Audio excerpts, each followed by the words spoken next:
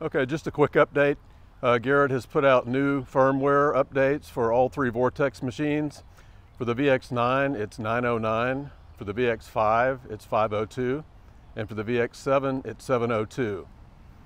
Each one includes a number of improvements, uh, but here we'll show you a couple different things just to demonstrate a few of the improvements you'll find with this firmware. Some people with their Vortex, not all, but some, had experienced some target ID lockup issues. So that's one of the big improvements you'll notice with this new firmware.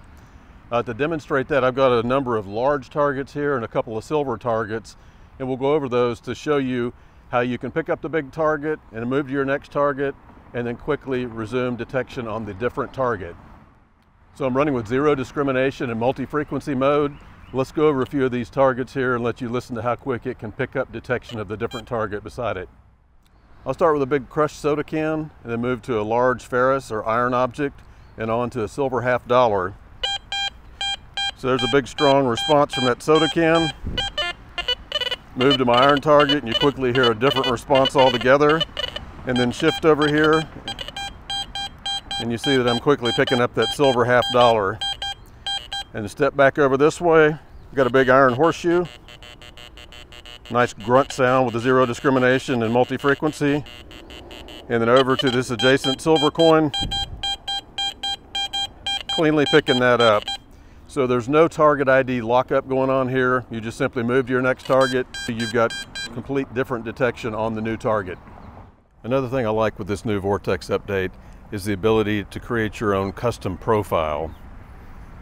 So your sensitivity and channel remain fixed, but you can change almost any other setting on your Vortex and save it as your custom mode. On the screen, we'll list all the settings you can save here in custom, but for demonstration purposes, I'll change a couple of them. So I'm in standard. I'm going to go down to custom and select that. And if I go into my settings, I'll jump up here to the frequency. Let's go for multi-frequency and say my favorite is 13 kilohertz. We'll go with that. Go up here to speed, go from one to a setting of three. Let's just say that's my preferred setting. So now that's my new custom mode at 13 kilohertz. And to show you that that actually was saved, let's go back in here in our modes and jump up to standard again. Standard's already reverted back to multi-frequency and it went back to a speed of one.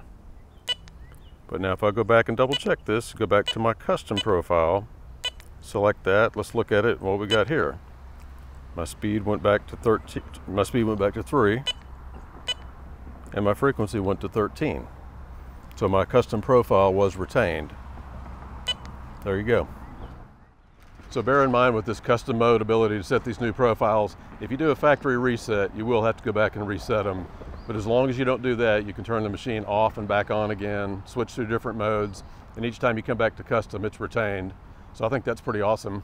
Uh, a lot of good stuff here with this new update.